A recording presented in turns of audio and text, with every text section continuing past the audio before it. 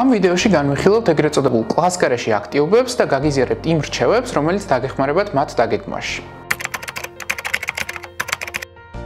კლასგარეში აქტივობებში იგულისხმება ნებისმიერი საქმიანობა, რომელთაც ხართ დაკავებული სკოლის გაკვეთილების მიღმა და რომელიც თქვენს ინტერესებსა და мотиваციას გამოხატავს.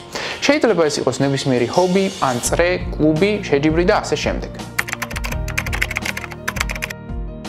აქტიობების დაგეგმისათვის გაგიზიარებთ რამდენიმე მნიშვნელოვან რჩევას. პირველი ჩემი რჩევა იქნება რომ თქვენი აქტიობები დაგეგმოთ რაც შეიძლება მრავალფეროვნად და დაუკავშიროთ თქვენს ინტერესებს. შეიძლება ეს იყოს პროფესიული და კარიერული მიმართულებით და ასევე შეიძლება იყოს ჰობის მიმართულებით. მეორე რჩევა იქნება რომ მიიღოთ ისეთ პროექტებში მონაწილეობა, რომელშიც თქვენ გამოიჩენთ ინიციატივას, ლიდერულ უნარჩვევებს და ეცდებით რომ დაეხმაროთ სხვას. შეიძლება ეს იყოს მოხალისეობრივი საქმიანობა და ასე შემდეგ. ეცადეთ გააერთიანოთ თქვენთვის მნიშვნელოვანი უნარჩვევები და ღირებულებები აქტიობებში და ამით წარმოაჩინოთ უნივერსიტეტებისთვის. მაგალითად, თუ თქვენ გიყვართ მათემატიკა და ასევე გსურთ რომ სხვებს დაეხმაროთ ამ ცოდნით, შეგიძლიათ მოხალისეობრივად მოამზადოთ მოსწავლეები, რაც ერთ-ერთი იდეაა.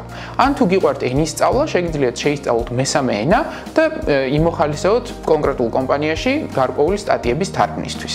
ბოლო რჩევა კი ის იქნება, რომ დაიცვათ ბალანსი აქტიობებს შორის. ეცადეთ, რომ დაახლოებით 40, 50, 60% 40% თქვენი აქტიობებისა უკავშირდებოდეს თქვენს პროფესიას, ხოლო დარჩენილი 40-50% უკავშირდებოდეს სხვა ინტერესებს, რომ ეს ბალანსი იყოს დაცული და იყოს საინტერესო.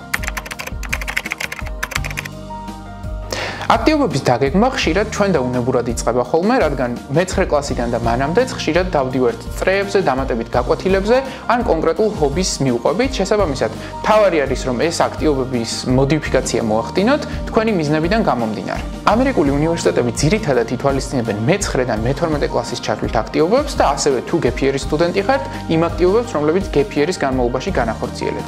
ასე რომ თუ ახლა იწყებთ აქტიობების დაგეგმას, ნამდვილად არ არის გვიან და შეგიძლიათ ეს პროცესი პროცესი მე-9 კლასიდანაც კი დაიწყოთ. ვიდეოს ამ ნაწილში გაგიზიარებთ რამდენიმე საინტერესო აქტიობას, რომელშიც თქვენ შეგიძლიათ მონაწილეობის მიღება. პირველი აქტიობა არის ამერიკული კუთხეები და თაროები. ეს არის ძალიან კარგი შესაძლებლობა გაიჩინოთ ახალი მეგობრები, გაიუმჯობესოთ ინგლისური და ასევე გაეცნოთ ამერიკულ კულტურას. ამერიკული კუთხეები გთავაზობ ძალიან ბევრ საინტერესო კლუბს, რომელთაც კიდევ დამატებით შეგიძლიათ გაიმრავლფეროვნოთ თქვენი აქტიობები და გაიჩინოთ ახალი მეგობრები და რაც მთავარია, ამერიკული კუთხეები 10-ზე მეტ ქალაქში მდებარეობს და არის სრულიად უფასო. ასევე, თუ ხართ წერით დაინტერესებული, ან გინდათ რომ ამერიკულ კულტურას გაიცნოთ, ან მიიღოთ სხვადასხვა გაცვლით პროგრამაში მონაწილეობა, მაშინ აუცილებლად ეწვიეთ ამერიკის შეერთებული შტატების საგანმანათლებლო პროგრამების ვებგვერდს, რომლის ლინკს ვიდეოს აღწერაშიც ნახავთ და გაეცანით იმ პროგრამებს, რომლითაც შეგიძლიათ ამერიკაში მიიღოთ განათლება სრულიად უფასოდ. მესამე აქტივობა არის Education USA საქართველოს და ლიდერობის აკადემია.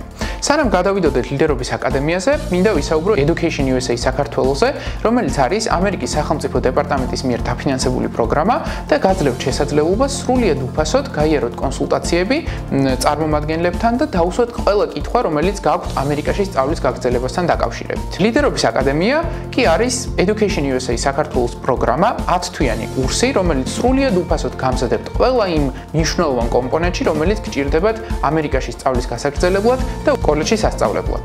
ეს კომპონენტები არის აპლიკაცია, აკადემიური წერა, ინტერვიუ და ასე შემდეგ. აკადემიაში მიიღება ყოველწლიურად მიმდინარეობს და მე-9-დან მე-12 კლასის ჩათვლით მოსწავლეებს შეუძლიათ გააგზავნონ აპლიკაცია. ბოლო რჩევა, რომელიც შემიძლია გაგიზიაროთ, არის რომ შექმნათ თქვენთვის საინტერესო პროექტი, აიღოთ ინიციატივა და არ შეუშინდეთ სიახლეებს.